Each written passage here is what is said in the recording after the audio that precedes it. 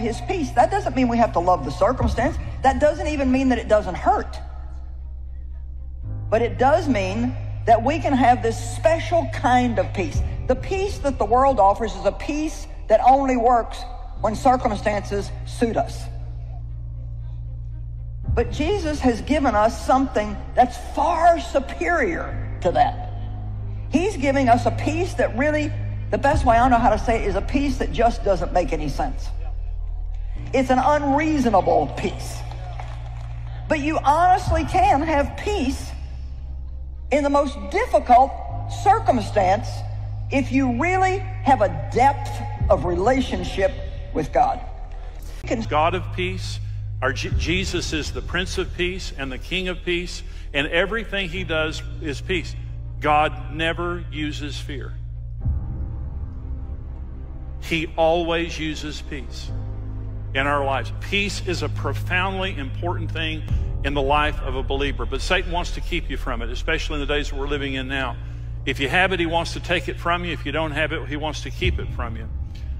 God will never use anxiety to guide you. And so, every single time that God is guiding you, he will guide you by peace.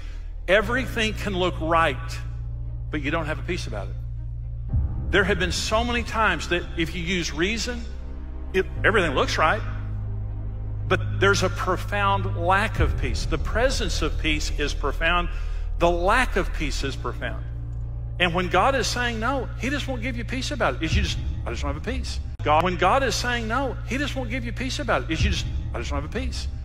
But when God is, when you feel a peace, especially when both of you are feeling a peace, that means that God is saying yes. When the devil takes your peace, he's knocked out a critical navigational instrument from your life.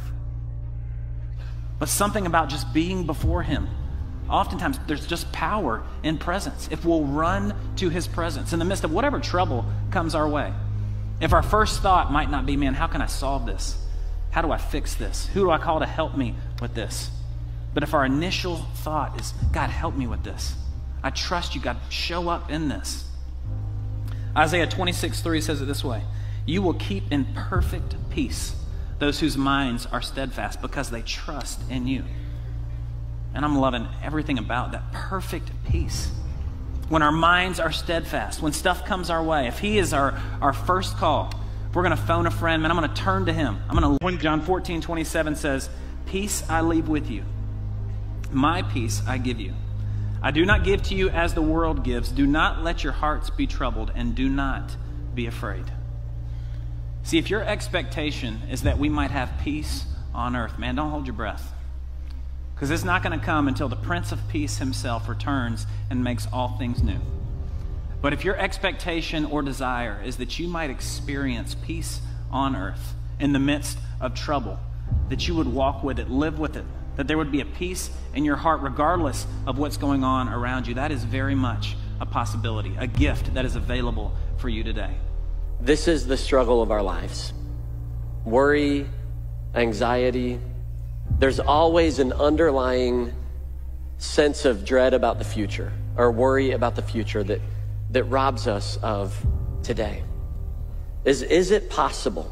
John, What do you worry about? Chances are it's not a bad thing. It may be our families, the well being of our kids, how we're going to get our bills paid in the future. It may be something going on at work. Can any one of you, by worrying, add a single hour to your life?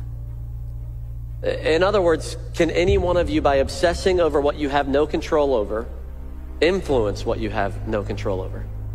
No, you can't. That is a recipe for stress. When I try to take control of something that I don't actually have responsibility for, then that is a recipe for stress in our lives. He says, therefore, in light of all of that that we've talked about, do not worry about tomorrow, for tomorrow will worry about itself. Each day has enough trouble of its own. In other words, today needs my best.